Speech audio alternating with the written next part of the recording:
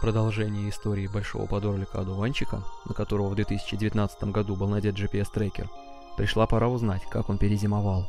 Из участвовавших в проекте четырех подорликов к весне 2021 осталось уже только двое.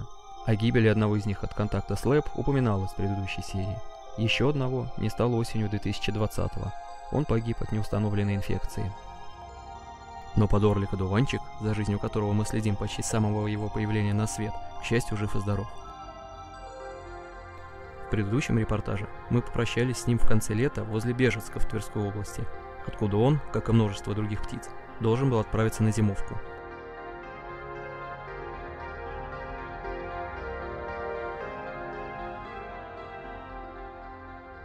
Но этой зимой он не полетел, как это свойственно его виду, зимовать на Ближний Восток.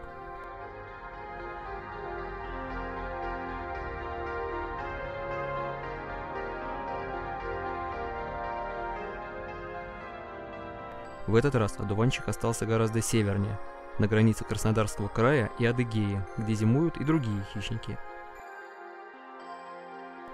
Курсируя вблизи долины Кубани, он останавливался то тут, то там.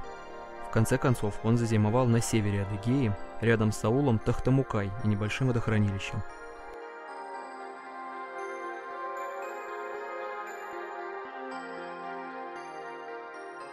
Тут он и провел почти всю зиму.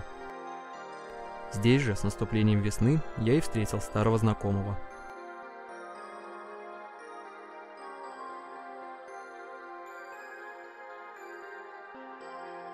Но, как и в прошлый раз, интересна не только встреча с самим одуванчиком, но и с теми, кто его здесь окружает.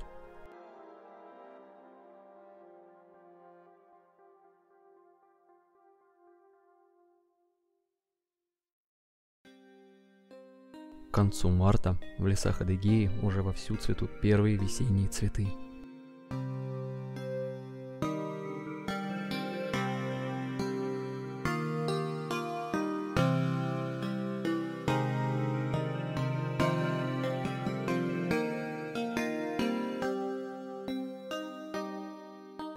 Идет пролет различных птиц. Кулики сотенными стаями суетятся на водоемах.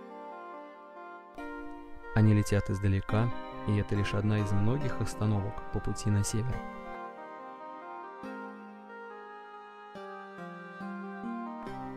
Разлившееся водохранилище, так понравившееся одуванчику, становится пристанищем для множества водоплавающих птиц. Черки и лосухи бороздят образовавшееся на месте лугов мелководье. Самцы лосух иногда устраивают драки,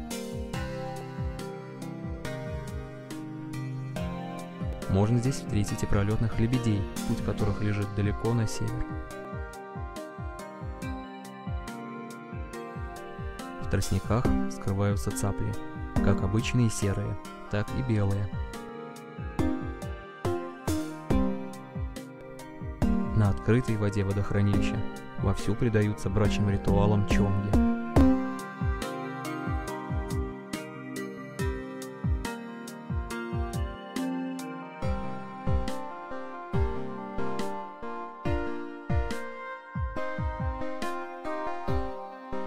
Над тростниками парят различные хищные птицы.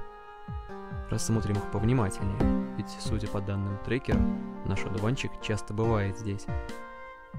Вот болотный лунь идет низко, почти над самыми тростниками, высматривая добычу.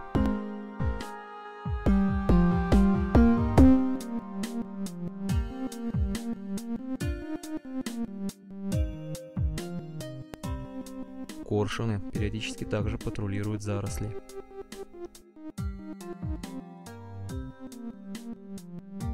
Вдалеке, над полями, видны и другие хищники. Как и на осеннем пролете, их тут довольно много, и найти среди них одуванчика будет непросто.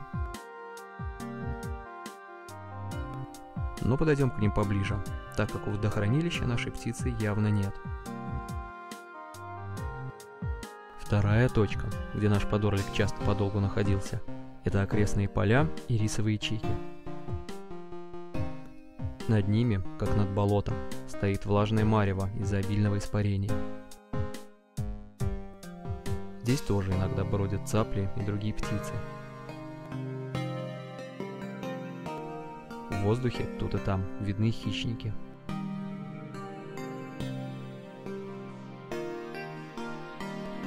Некоторые заняты брачными играми.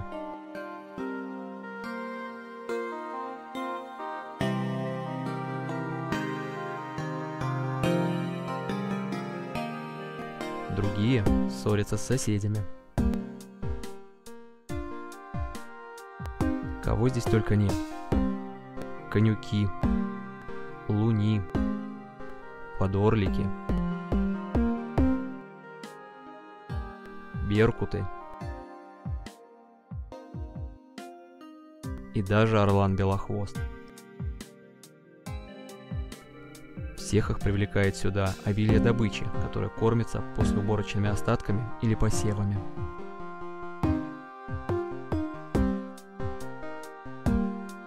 А вот, кажется, и одуванчик. На спине что-то ярко-белое, похожее на передатчик.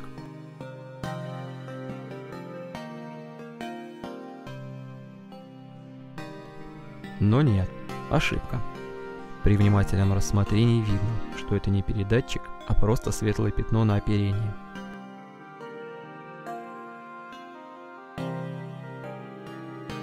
И такое может случиться в подобной толчье. Значит, это не наш подорлик. Поищем его еще среди этого множества.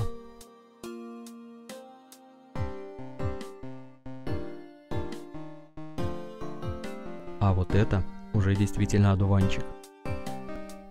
Контуры передатчика отчетливо просматриваются.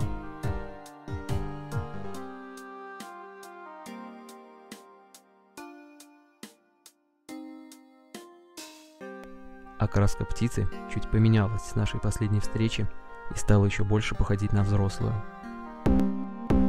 Одуванчик благополучно пережил свою вторую зиму.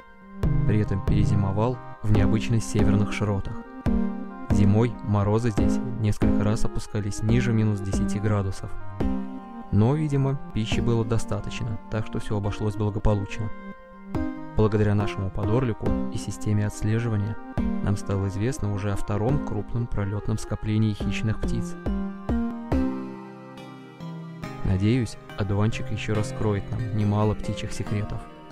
А пока пожелаем ему хорошо провести время до нашей следующей встречи.